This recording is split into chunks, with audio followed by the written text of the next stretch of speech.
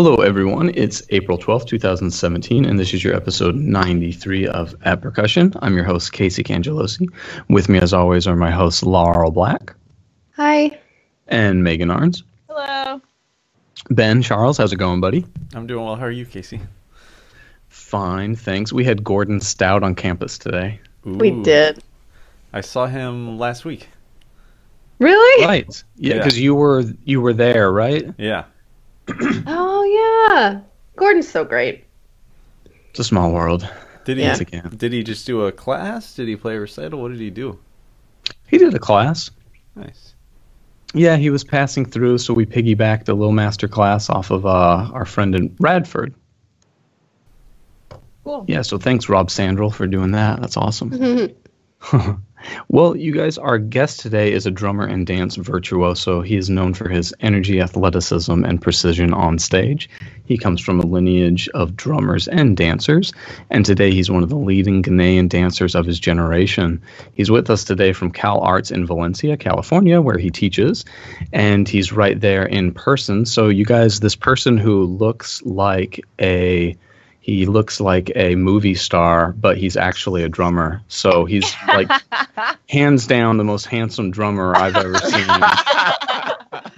How's that for an introduction? so so yeah, I mean, I don't want to say. I, I guess he's a dancer, so it makes sense he's this handsome. But anyway, guys, this is Nani Agbeli. How are you doing? Welcome to the show. Thank you very much. Appreciate the great introduction. So would the term man crush apply here, Casey? I feel like maybe it wouldn't. I mean, possibly. I don't know. I always I always thought Ben was the best looking drummer in the. People people often confuse Nani and me, so we get that all the time. yep, no doubt. Hey, well, why don't you give us a little rundown of what you're doing there in Mizzou with Megan? Um, so I'm I'm I'm down here to kind of um, help establish and also advertise, um, you know, the Ghanaian part of the world music um, uh, courses that Megan is teaching here or introducing here, um, just to bring more awareness to the program and get more people to know about it and sign up for it and be involved and uh, yeah, share and share it more to other people. Yeah, yeah wonderful. So does that consist of a concert or maybe a Yeah, maybe a so circle dance I've been here. Um, I've been Whoa! so I've been here since uh, Monday. I've been here since Monday, and um I've been going to classes. I've been going to rehearsals, um, workshops, and just trying to work with the community, the students, and you know, as much as I can, get myself out there at the school. Um, and we have the concert on Friday. Um, so you know, her group um, of students we've been on top of rehearsals and trying to get a lot of things done uh, before Friday. So yeah, it's been it's been classes, workshops, and rehearsals towards the performance on Friday. yeah, Yeah. wonderful. and this project has kind of been a personal goal of mine for a while because I studied uh, in Ghana 10 years ago for three weeks, took a trip there, and was at the center that Nani's family runs. And I'd always somehow wanted to share that with my stu- some aspects of that with my students and eventually hopefully take them to Ghana with me. Um, so the first step I kind of identified was getting back into learning some more of the music and the dancing and um, and bringing someone in. So I met Nani in Chicago a couple of years ago, and I saw him teach, and I was like, "That's the person. That's who I need to bring to my school." And um, so I started working on it then, finding funding and kind of developing this project. But I went to out to CalArts to study with him. Um, over the Christmas break and have been mm-hmm. teaching material to my students all semester, kind of in preparation for his visit and for this concert. So, yeah, this is the poster. It's become a joke now because one of the sources we got funding from was a student organization that requires you to use a percentage of your funding for advertising. And I feel like you can do so much on the internet for free now that I was like, okay, I'll just make $250 worth of posters. so I have like thousands of postcards and like everywhere we go i'm like shoving it in people's face and inviting to his own concert every hour so It still makes sense to make posters. Post people It still see posters. I, just, I i agree yeah? Yeah, Ben, what do you got there? Yeah, so I had a question. Um, I was actually I was in I can't remember where Illinois over this past weekend, and I did a, a little duo recital with my duo partner at Olivet Nazarene University. Um, and one of the faculty members there, his name is Andy Miller. Andy's a friend of mine from grad school. Um, and Andy has studied extensively Malinke drumming, which is West African. Um, and I actually had invited Andy to be a guest co host tonight, but he couldn't make it. Um, but when I told him who our guest was, he said, Oh, he does Ewe drumming. I don't really know anything about that. and I knew, like, they're both West African drumming styles. So could you tell us in particular about Ewe drumming? What makes it different from other West African drumming styles? Well, it's not even just Ewe drumming; it's like Ghanaian drumming. Yeah. because if because you know in Ghana every region has you know its own um, traditional music and dance and and cultural and all that stuff. So um, if you want to talk about it, you want to compare the whole cultural and drumming in the country to this um, other country. Um, but the thing is, uh, in, in terms of specific, since we're talking about Ewe drumming, um, even when you go to a different region, like my region is Volta region, when you go to Ashanti region, the music they play there is 100% different from what we play at the Volta region. If you travel up north and you go to the northern region, what they play there is totally different. So, um, and that's one cool thing I think uh, uh, about about Africa in general, not just uh, you know part of Africa, is that no, uh, depending on where you go, like our music from one country to the next is totally 100% like totally different. And there's a lot of, you know, uh, there's a lot of cool things about that. There might be some similarities depending on the neighboring um, border country, but a lot of it is totally different. And, you know, you will have no idea about it. Like when I go to um, some, uh, when I go to Nigeria, I, I really will not have any idea. Probably 90% will not have any idea about their music. And I have to I have to learn it or you know I can teach it. I have to bring someone in to teach it. But Nigeria is a neighboring uh, country to Ghana. So yeah.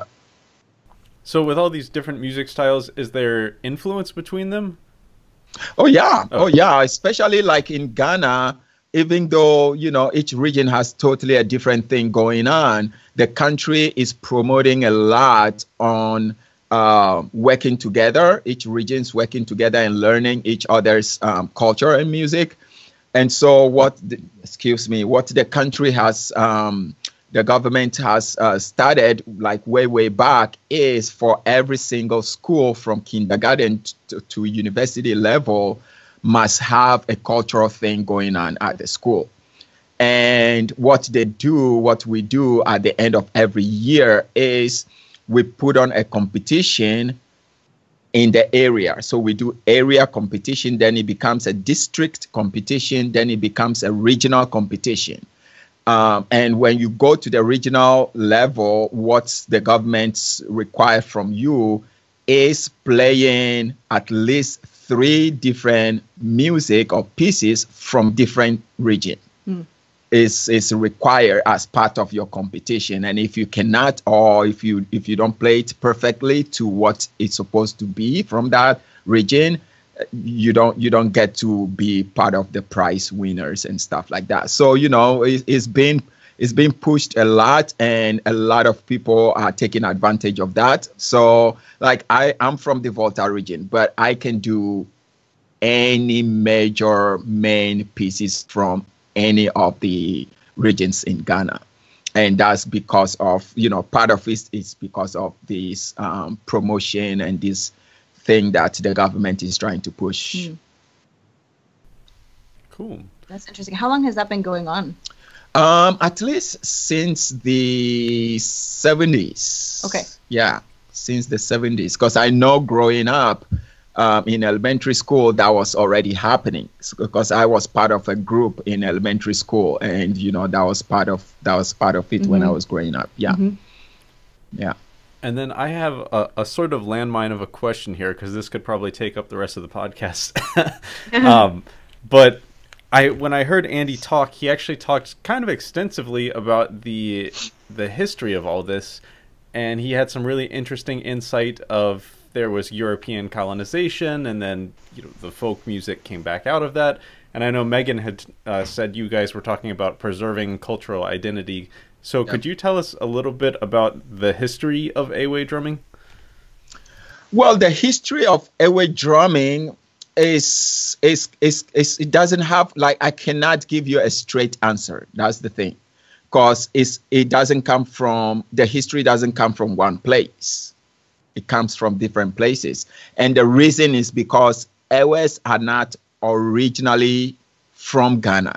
They migrated. They migrated from Benin, Moche, and then traveled down Nigeria, Togo, and then came to Ghana. And so you know, when they brought some history and cultural stuff from Benin and then came to meet some in Ghana. So, you know, it, it depends on the piece you're talking about.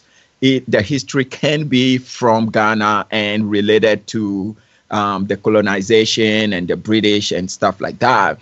And depending on the piece, it can come from Benin and stuff like that. So, for example, if you're talking about a piece like Agbeko, Achi Agbeko, Achiagbeko, you know, part of the story, part of the history is that it's um it's a piece that was designed and created to to to uh, commemorate um, the fight and the war that uh, our ancestors went through to maintain and take possession of the property that we, the new generation, now uh, holds.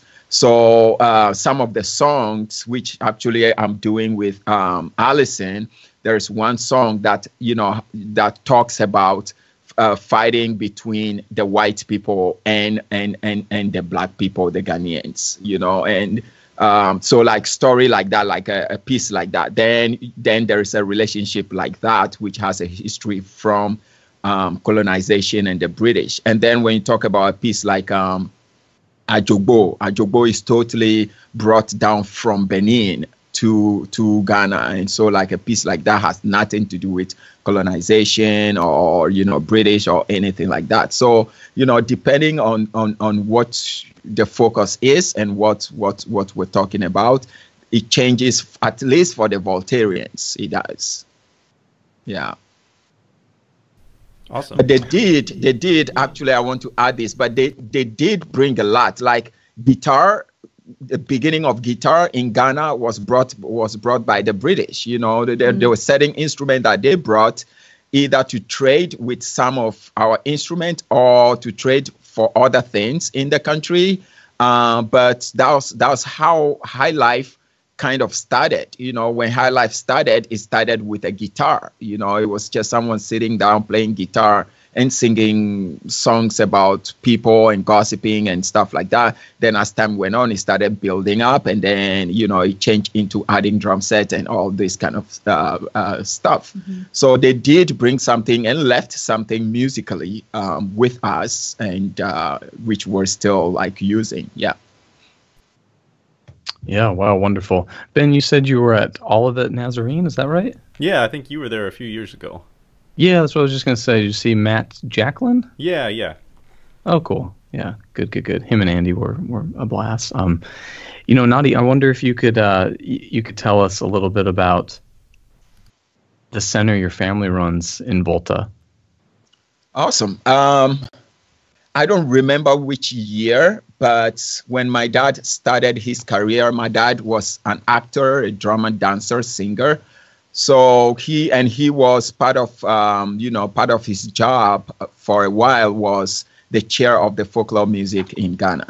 So we, the family, traveled a lot. I mean, moved a lot from region to region, uh, which was cool, but also hard on the family, depending on you know how you think about it.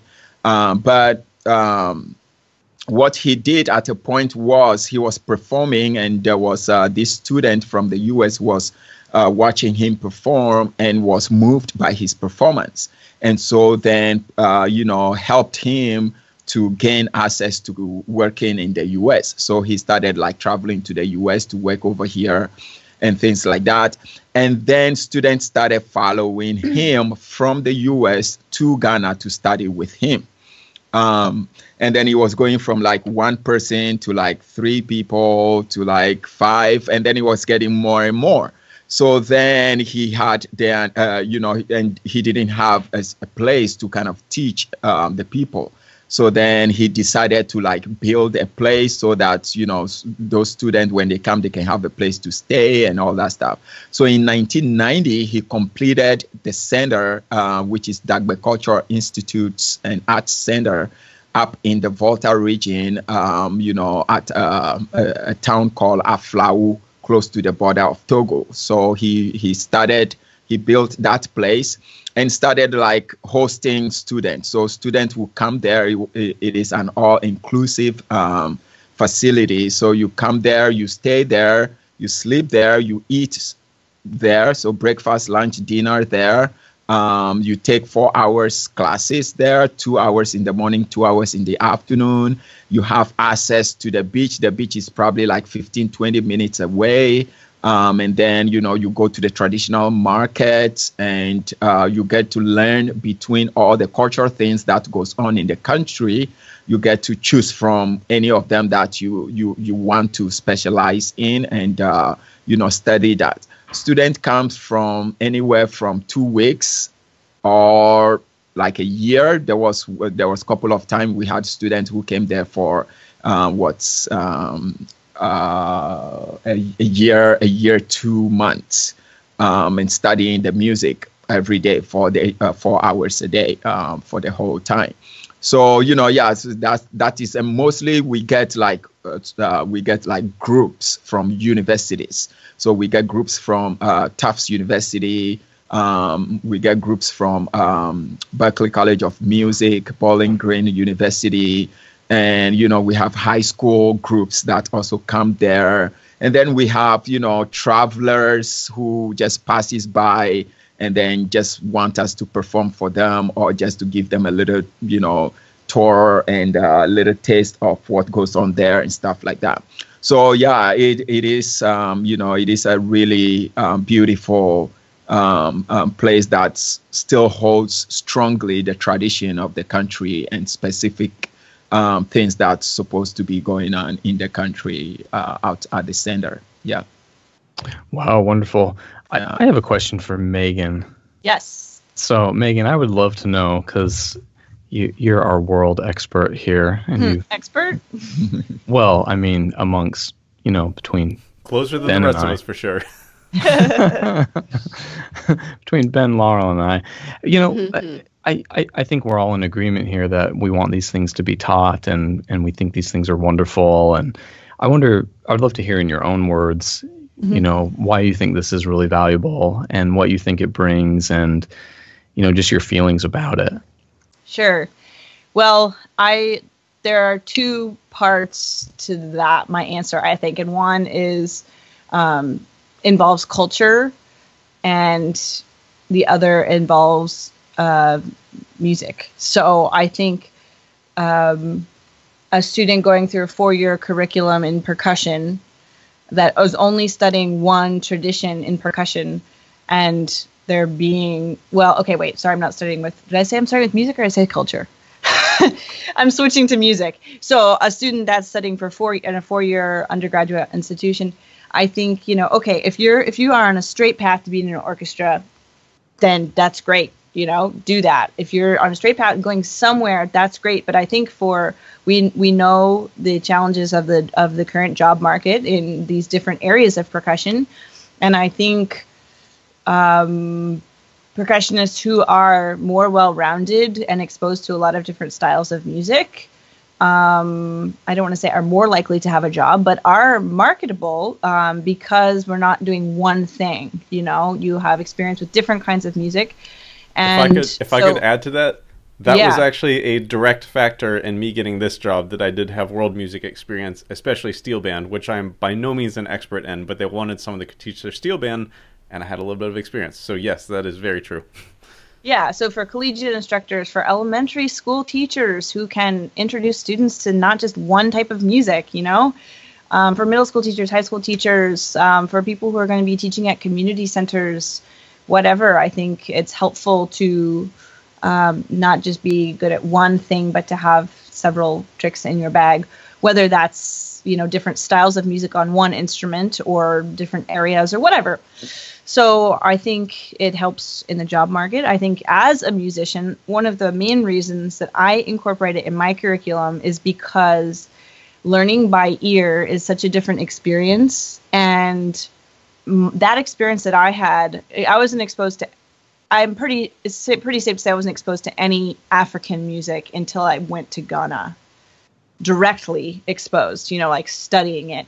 I remember like sitting in because my my teacher Michael Bump at Truman. I said I'm going to Ghana. He's like, Do you know anything about music in Ghana? I, I don't know anything. I don't know anything. You know, I just I was like I want to do this, and so we were like printing off articles, and he was like teaching me a timeline, and yeah, I knew nothing. You know, and then I went and like I had such a hard time the first few days because I'd never I don't think I'd ever learned anything by ear before. Mhm. You know, I grew up in a pipe and drum corps, and some things were taught by ear a little bit, but I really, I was like, I have to write this down. I have to write this down. How am I going to remember this? Mm. I can't process this. I was like freaking out. You know, it was such a different experience, and um, when I returned, I kind of that kind of stuck with me, and you know, I tried to keep learning different things by ear through studying different traditions and things like that.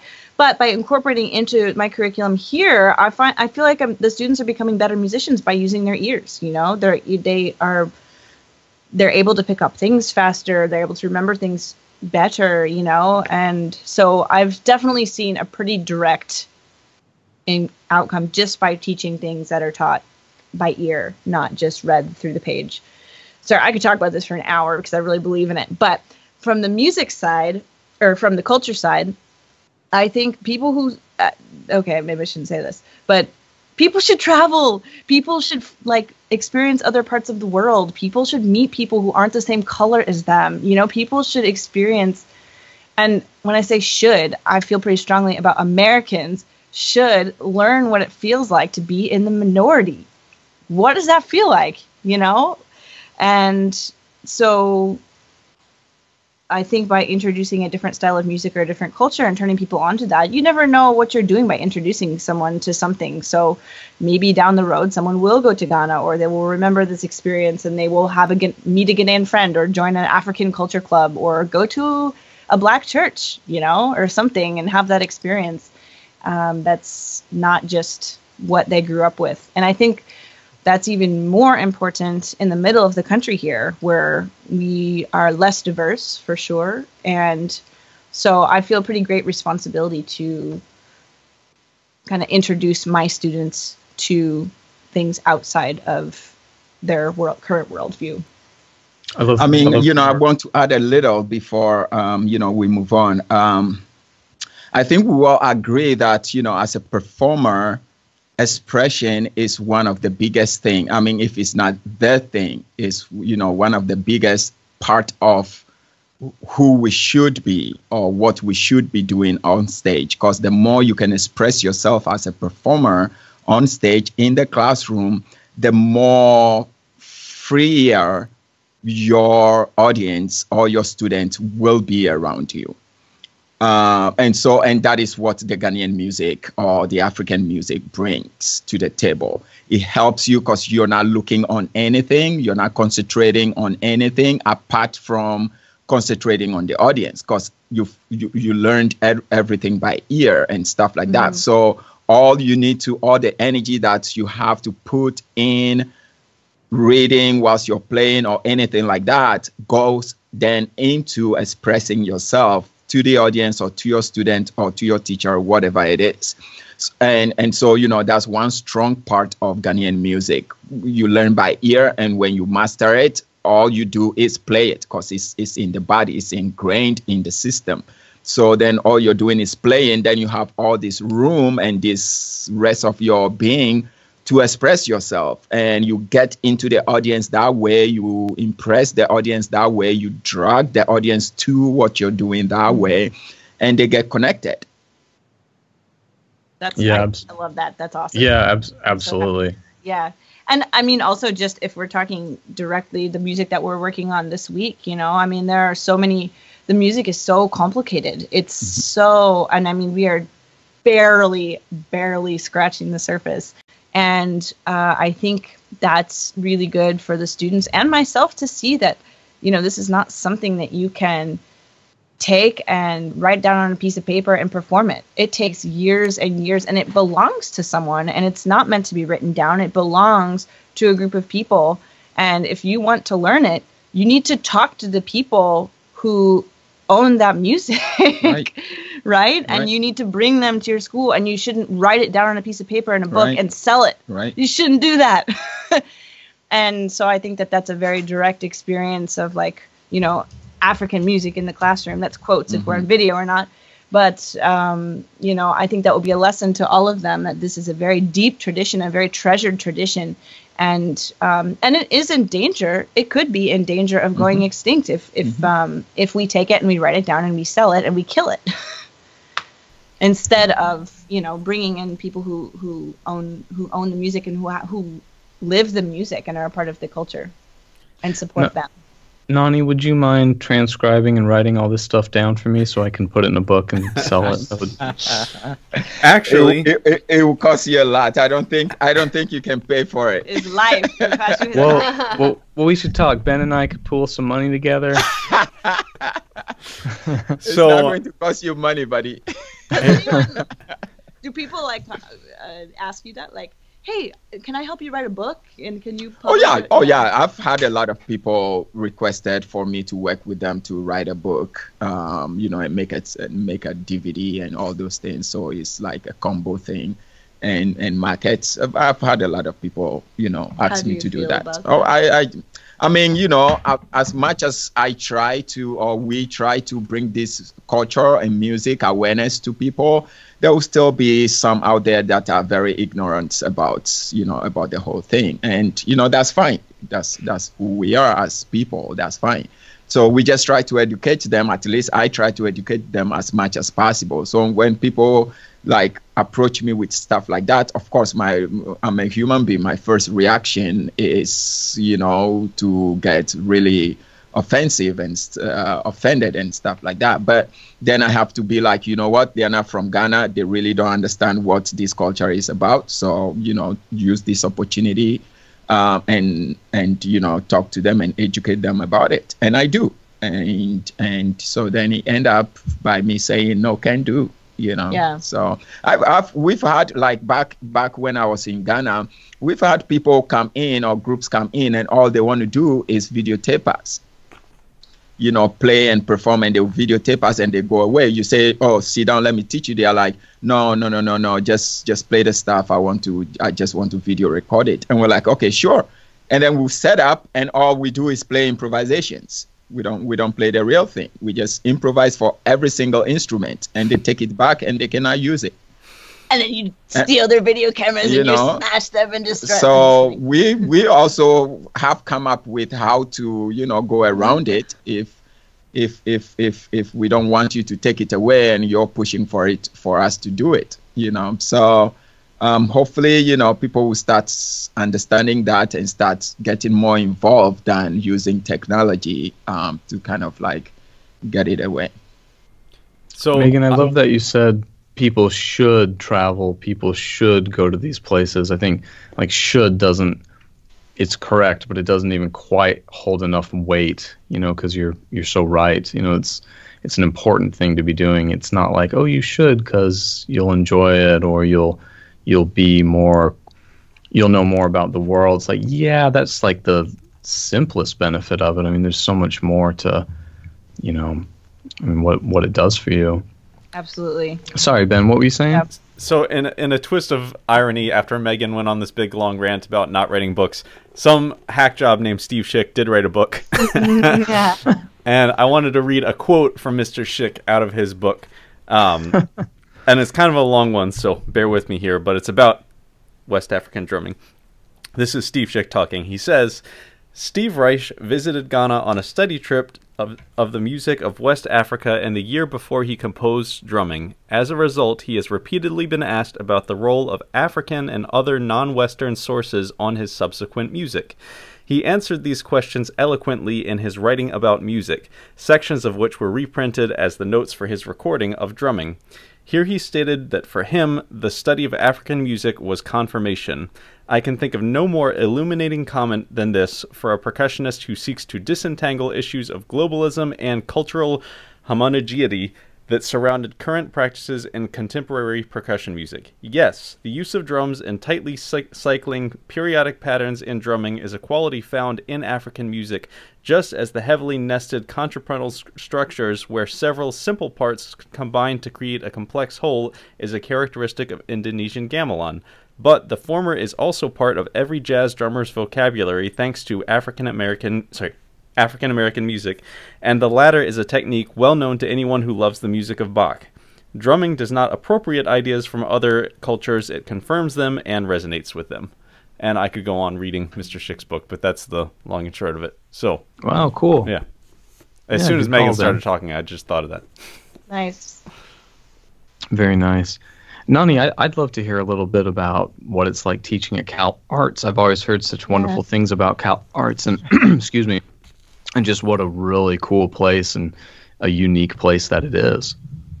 Yeah, I mean, uh, when I moved to the U.S., one of um, you know after like two three years, I kind of designed this thing in my head where I'm like that would be the perfect place to be, you know, to to do my work. That would be perfect. And what I painted in my head was an institution or a place where all the arts are in one building, are in one place. Because, you know, uh, um, apart from my music, dance, I also do graphic designing, I do textile designing, I do web designing. And so, you know, like, I'm like, it would be perfect if I can work at a place that has all these things mm-hmm. together. But after a couple of years, you know, that never came, that never came, came to me. And so I'm like, yeah, this is just, you know, something I'm thinking about that doesn't exist until you know until 2013 when I got an email from my assistant boss from Tufts University. And then I went to their website to look at more things and read more stuff. And I'm like it does exist you know and it made me so so happy and so excited. So then I was like okay I'm going to push for this. I'm going to do everything possible to to get this position. So and when i went to visit the school when i got you know i got picked as the last four for an interview when i came back home i just was like okay this is it. This is where i need to be. Like this is this is my place. So then you know so then i did everything i could. And fortunately you know i got i got the job and i got the position and i'm there now. But it is an amazing, amazing, amazing, like I can say, I can repeat amazing enough place to be at, you know, as a as a student, as a teacher, as an educator, as someone coming from a different uh, country and trying to share their culture and educate people with their culture. It's just an amazing place to be at on so many different level. And one of them is because, you know, there's a lot of interracial stuff going on there. There are people from China, from India, from everywhere, like everywhere you can think about. And there's a lot of, um, you know, exchange programs going on, and each of the instructors are the best at what they do. So, you know, it's like uh, students are getting like the highest, highest, highest people that can represent their country or represent what's you know what the music is over there and the students are really really great. Like they come in already with a great background. And so then it makes you the instructor have a lot of room to work with and a lot of things already set up for you to work with. And for me it's just like there is no there is no end to it because that's one of the thing when I was you know when I uh, when I was teaching I'm like okay I need to I need to expand. Like what I have to share is more than what you're giving me. Is more than the room you're giving me to share. And they're not allowing me to go any further. And I'm like, but I can do way more than that. Like what I'm doing right now is like just a little. And they they, they couldn't. But at uh, at um, at CalArts, it's just like, well, what else can you do? Well, I can do this. Okay, you do it. Okay, now what else can you do? It's like every time you finish a project, there is more room for you to expand and bring something else. So, you know, which is great, which is what I wanted. You know, I want that challenge to always be able to challenge myself then come back and challenge my student and have it keep going in that circle. So you know, there's there's amazing thing going on at CalArts. The students are amazing. The faculties over there, each of them are really really professional and great in what they do. And when we come together to perform as as a team, it's it's just it's, it's firework. It's, it's it's a blast. So yeah, I'm very fortunate to be associated and be working at CalArt. And of course, all that you heard, I can I can put a stamp on it. It is true. yeah, because I'm experiencing it myself. So yeah. Well, you know, one question I have: What aspect would you say is the most challenging to get across to people who are not familiar with this drumming and dancing? Um, it's having them understand um, the cultural aspect and why they should do it because Ghanaian music is not just about, I was actually explaining this in a class yesterday. Ghanaian music is not just about playing the music or doing the dance or singing the song. Ghanaian, every single piece that is a traditional piece from Ghana has a story and a history to it. And that is what we, the Ghanaians, stand for. And that's what we're trying to promote is how to bring that story and bring that cultural aspect out to the audience. And that is when all the rhythm and the polyrhythm and all the movement and all the voice stuff comes in. Like I was teaching uh, in my song class, when I teach one song, I make sure I explain almost word to word to the student because it's not just singing the song is how you sing the song. It's the emotion and the effect that goes into the song make is what makes the song the type of song it is or it represents.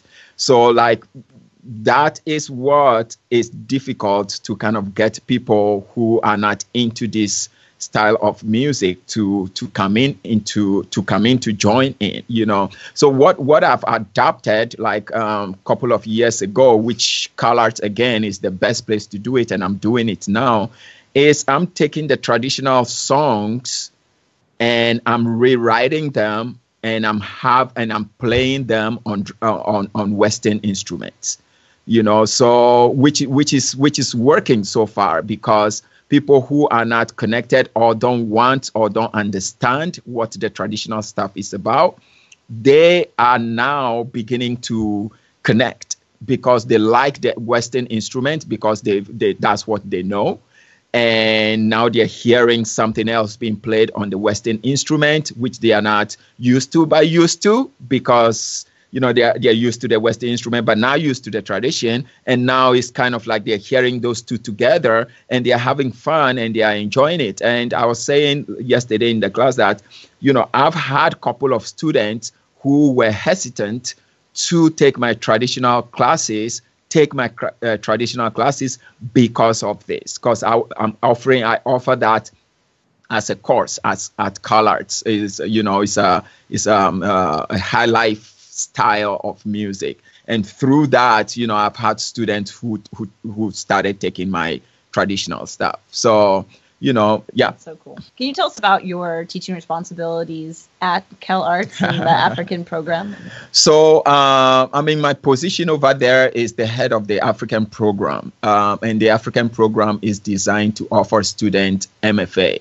So students come there and graduate in, um, uh, you know, MFA in African music and dance. Um, and it's a two years uh, program. Um, and there was about four or four and a half courses or classes before I came in.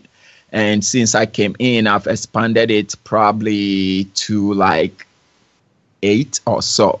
Um, so right now we have we have two uh, music ensemble, one beginning, one advanced. And the beginning we do all the three aspects of the tradition. So we drum, we sing, we dance. Um, just to give students, since it's a beginning class, to give them a general taste of what Ghanaian music is about, so that by the end of the semester or the year, then they have a better idea if they want to continue what they should take next. So then we do that, and then the advance is is is being at the top level, um, you know, playing very complex and complicated stuff and uh, things like that. But in the advance, all we do is drumming, nothing else. Um, and then we have two uh, dance classes, one beginning, one advance. Um, and then we have a singing class, and then we have a history class, uh, ethnology of African music. And then we have another class that specifically concentrates on the northern side of Ghana. And then we have a polyrhythm class. Um, and on top of that, of course, we have private lesson and independent studies and all that stuff that goes on behind uh, behind the main scene.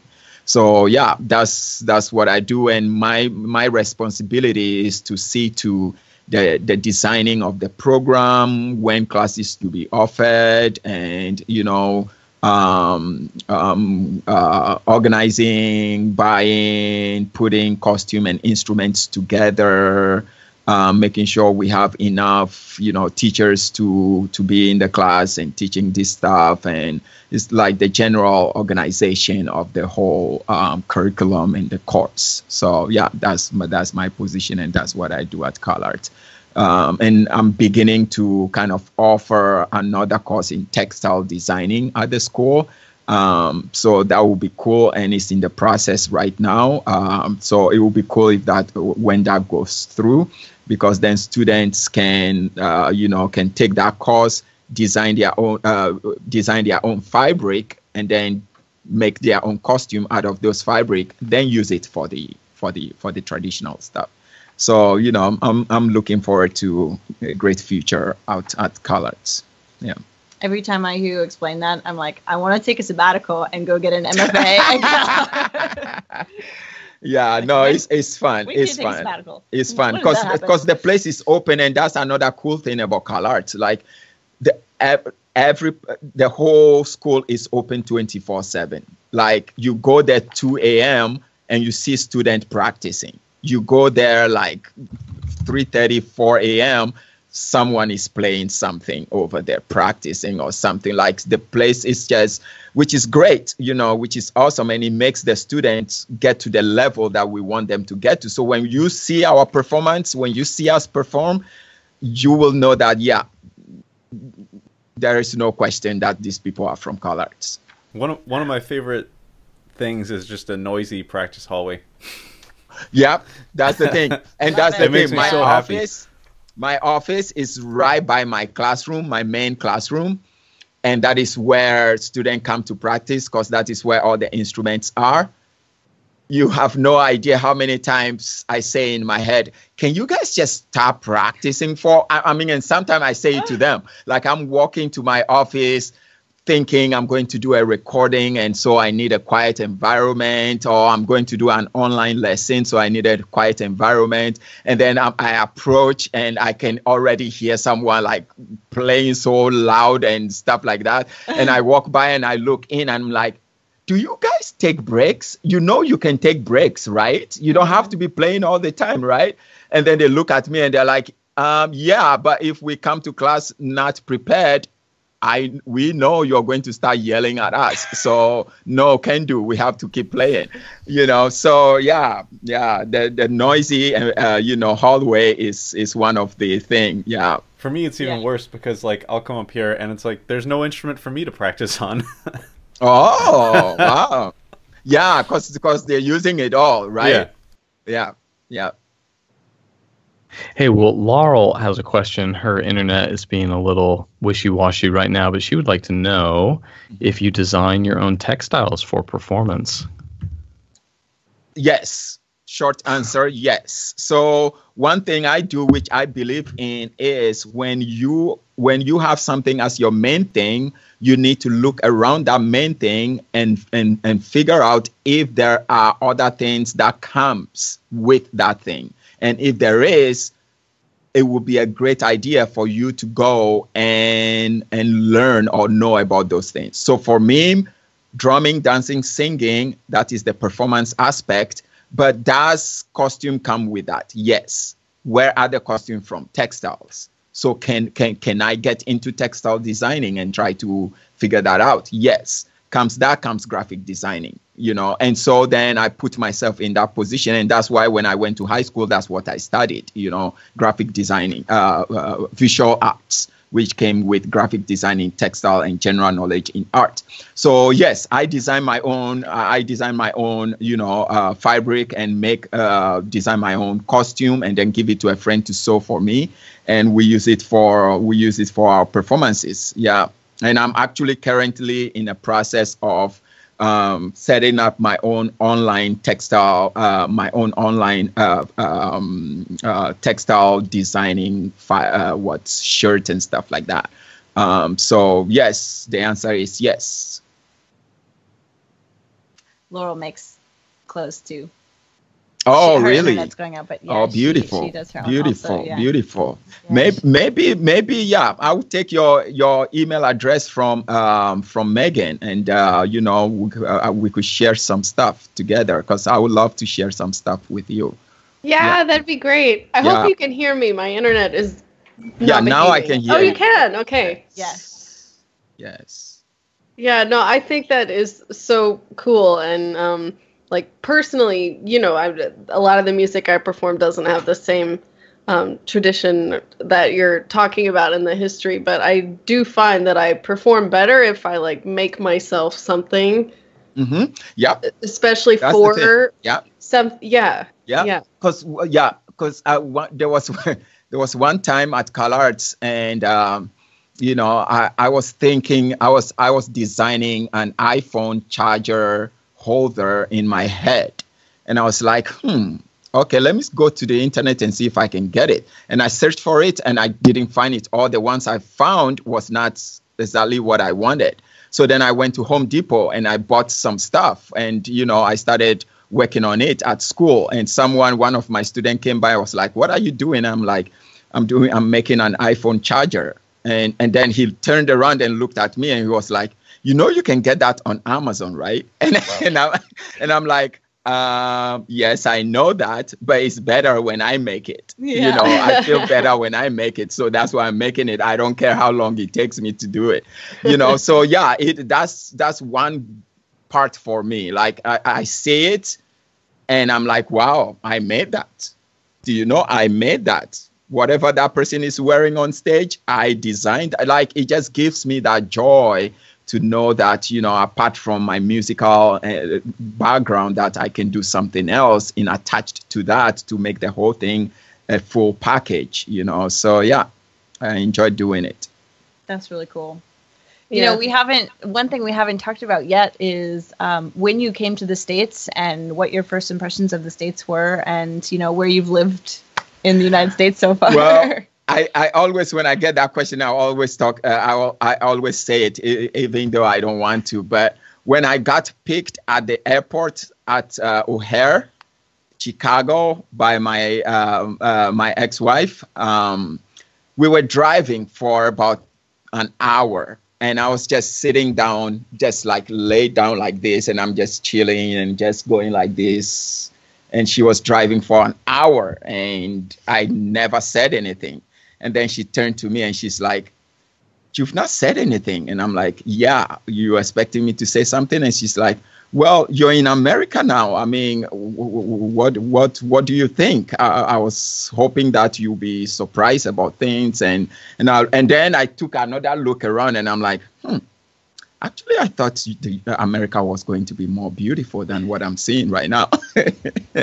And no offense but you know with everything i've seen on tv and movies and stuff like that like i was surprised that there was a lot of trash on the on uh, you know on the side of the road at some places especially in chicago you know at some of the places. And you know like uh, there was just certain things that didn't click for me like I see on the on the uh, uh, in the movies and you know on TV and stuff like that. So then for like a week actually I questioned myself if I was really in the US. So you know like I'll be looking when we get mails I'll be looking on the mails to make sure that I see USA on yeah. the mail. Like there were certain things I was trying to get to make sure that I, I'm, I'm really in the US. But you know but after after a while when i started like visiting other places and getting to know more about the country and other states and stuff like that of course there are a lot of things that i'm amazed of and still amazed of you know like i've never been to california until i got this job. So you know like when i got there that was a big cultural uh, shock for me in terms of what goes on there and stuff like that. Um, but yeah i mean there are stuff that i still um, you know, think is amazing. I mean, of course, there's a lot. That's why I'm still here after 11 years. I'm still here. So there are a lot that I'm learning personally as a cultural thing in the country, uh, which is very great for me for my work and also as a person. So yeah, it's yeah. interesting when you when you travel you know because i've had that exact same experience you have a, a, image in your mind you have a specific picture of what right. a country a country's supposed to look like right and, and, the one that comes to mind is argentina you know we always see the mountains and the snow caps and like the extreme skiing and you know and but when you go as a guest artist to visit somewhere you're often in this one little area or in this exactly. one little school and, and you stay very very local to right there mm-hmm. so you go back and tell your friends, "Oh yeah, I went to here or there," and they say, "Oh, did you see?" And they start naming the big sites, and you're like, "No, I was working." but but the good thing, the better thing about that, I think, is you really do. I feel like I do know a lot more about those people, and that at, at least that you know classical music in that setting around those people because I just stayed with this small group and I didn't go see a bunch of big sites where I'd mm-hmm. likely just run into other tourists. So there's something really beautiful about that. And of course, also, yeah. I got to yeah. say, you know, when the opposite happens, like when I went to Portugal, I didn't really have a, a picture in mind as to what Portugal was. And then we saw a lot of cool things, and it was exactly. such a such a pleasant surprise, and yeah. just made a really really big impact. Yeah, yeah. Cool. I, I I love what you said about you know, I asked you what's the hardest thing uh, about getting this music and this art across to these students who don't know it, and you said it was understanding that it's about more than the music and the dance. It's about the culture mm-hmm. and the and the music and dance significance along with the culture and its meaning. Right. And and something just struck me because when we talk to our students, I feel we're often trying to do the same thing. We're trying to get to what the music is about mm-hmm. and why they're expressing it and why they should play it expressively, but it's so hard to get past the whole okay, I'm just trying to do it right. Yeah. Exactly. You know, and it's so hard to get exactly. to, to get by, you know, it's, it's exactly. so hard to get past that.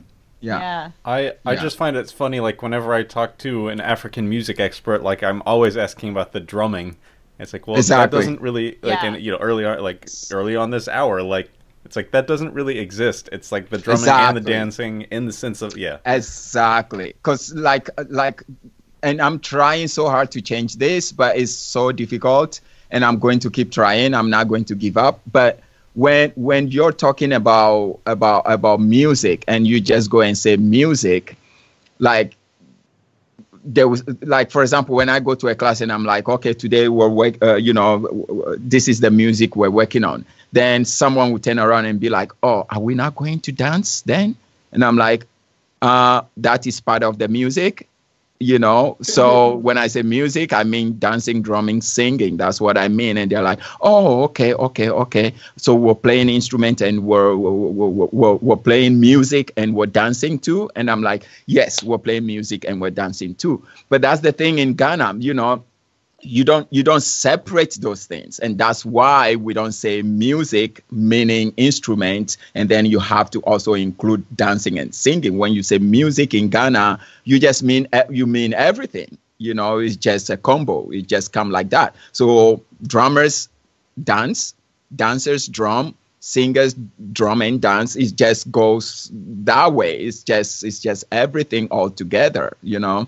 Um, and and so our, our, and that's why the cultural aspect is very important because um, you know like when when you get up in the morning when people are cleaning compound and getting things ready to for the day to start they're singing they're dancing they're they're they're mimicking the drum the drum calls and stuff like like everything mostly in our daily life involves involves music throughout the whole day so that is why for us it's more about the cultural and the understanding of how this thing is being presented than it is of the main instrument movement or the voice.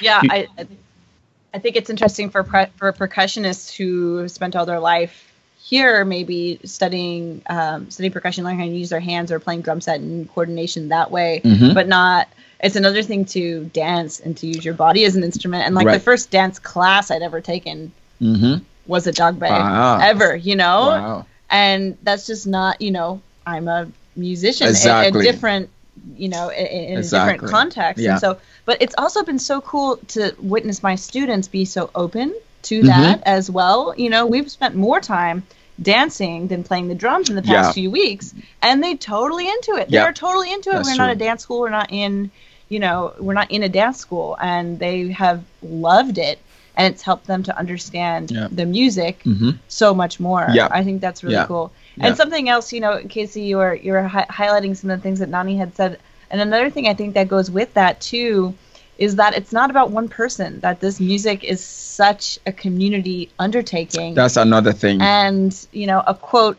a quote from yourself that you mm-hmm. you said um, I had the opportunity to interview Nani last June, I yeah. guess. Yeah, yeah, for for Rhythm Scene. He we he was on the cover, and so I interviewed him for that. And one quote was, "You don't go on stage saying I am going to shine. Instead, you go on stage saying."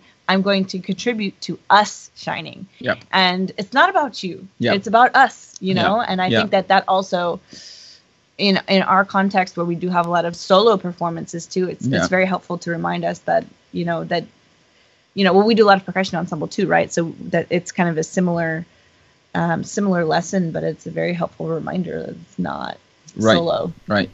Right. I just had a little something to add. I'm assuming everyone here has probably studied the bach cello suites and i actually got to take a class on the bach cello suites in graduate school. And one thing i had never considered was the fact that other than the preludes the bach cello suites are actually dance suites all the movements are dances, and it was one of the most. Uh, I'm I'm just an awkward, uncomfortable person. It was one of the most awkward moments of my life to have to dance the minuet. Yay! But having done it, I feel like I have a much more firm understanding of how the minuets and Bach cello suites should go. So, moral of the story: if you're studying the Bach cello suites, look up the dances because they are dances. Well, Laurel, didn't you used to teach some of these dances? Yeah, like Baroque dance and Renaissance Specifically, dance. some of these Baroque oh, dances. Yeah, especially to like a music appreciation class. It's just something that gets them involved, and it's even better if it falls on Halloween, which I would plan. so then they're all in costume, also. You, yeah. Yeah. Well, Laurel, you said you had done some African dance. What was your experience like that uh, with that as a percussionist? Oh yeah, just a little bit. I um it's not a, it's not nearly as extensive as yours, Megan, but I I remember specifically like I loved the dancing. Like the drumming was fun, but it was also like the thing I was already studying, but what was so interesting to me was yeah, to use just the body as a means of expression. And I think like a lot of my research and, and activities now, Nani, have to do with um, the body and understanding how it works and playing in a way that doesn't injure you and things like that. And I feel like to some degree, you know, uh, those dance workshops help to wake that up, wake up a relationship between the mind and body, if that makes sense. yeah. Um, yeah, and I uh, like one of those was at Lawrence University. Um, yeah, oh, with the with Dane Richeson. yeah, Yeah, yeah, yeah, yeah, yeah, yeah. That's, Wow, Yeah. that's the yeah. same. I've done the same one as well. Yeah. Nice. Yeah. Uh, So and you guys was- went there for a workshop or what was it? We were actually both there for the Zeltzman Marimba Festival. Ah. That's actually where we met. Mm. I charmed him with my African dance. Huh. So, yeah. So I guess we've each done it twice because at separate times we each attended as students independently as in years, and then we were both teaching, and that's where we met. So I've only I've only got to do the workshop twice. But I have to say, when I was younger, so the first time around, which must have been like right after I finished my undergrad, I have to say I was it was really hard to let go. You know, it was really hard to just let go and just just do this. Just do Yeah. these moves. Just it's okay. Don't worry about Yeah. how silly I look or how how poor a job I'm doing. But I, I do remember part of it was I almost felt like, oh man, am I insulting this tradition because Yeah. I'm so bad at this? And so you have all this hesitation. Yeah.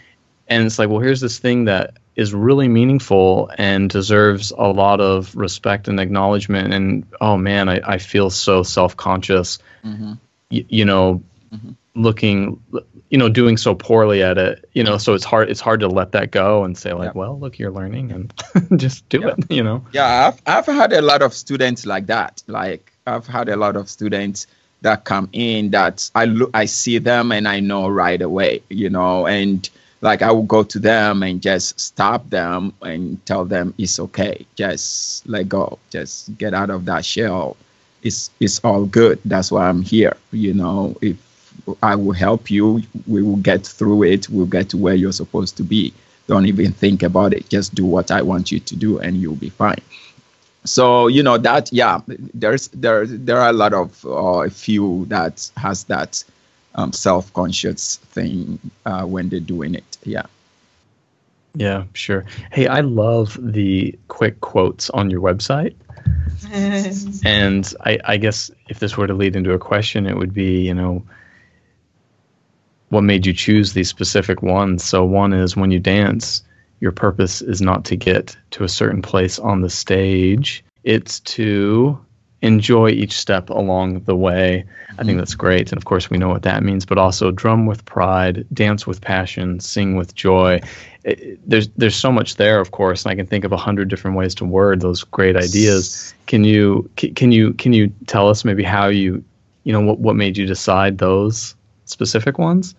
Well, for me, when I'm performing, I wouldn't say dancing or drumming, uh, but when I'm performing, specifically dancing, but when I'm performing, that is the moment for me to express myself, to express my inner self, to bring my inner, uh, whatever is happening inside me. That is the time that I bring it out either in a great way if I'm doing a recreational piece, um, or in an intense way when I'm doing like a war or a fetish piece.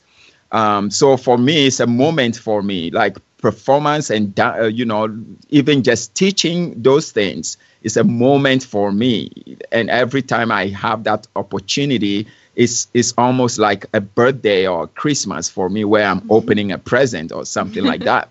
And that is why I have those codes. So like I'm not I'm not rushing, and that's why in our class I'm like, don't rush. Don't we? It's not about who gets there first. It's about how do you get there. You know. So for me, each of those steps before I get to completing my main movement or my main thing, each of those steps are like diamond. They are like they are like moments that I need to enjoy because you know what? They are not going to come again. Even when I repeat that movement again, it will not be the same atmosphere. Even if I do it right on the spot, no, it's, it's still not the same. So each of those movements are like very important to me, and I need to connect with my ancestors. I put myself in the shoes of my ancestors. Why, how, what came into their mind for creating this thing? And so I take each of my steps and each of my notes and each of my words you know, very special and I process them really nicely and make sure that I am coming out of my stuff and audience are really connecting with me. Like I don't do my performance without having audience connect with me. It has to happen. So, you know, that is why I have those codes because they they are me. They are me on yeah. Nani's website, if you are interested in in going to Ghana or learning more about what he does, there's a really nice section on the website on his website that ha- answers questions um, about um, the study abroad trip mm-hmm. and has more information about the program. So it's really well laid out. If you if you have questions about that, um, yep, go to the study abroad trip on his tab on his website.